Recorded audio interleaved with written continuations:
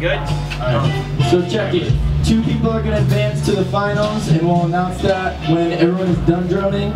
Um, other than that, you got five minutes set up, three minutes to do it up, and three, two, one.